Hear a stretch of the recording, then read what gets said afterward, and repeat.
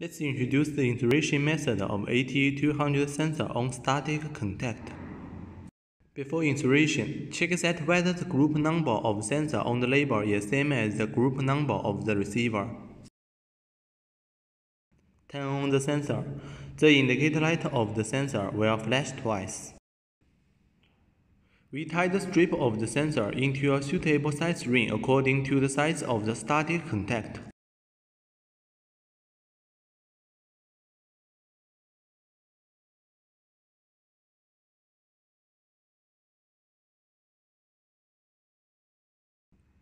Excess strip can be cut off.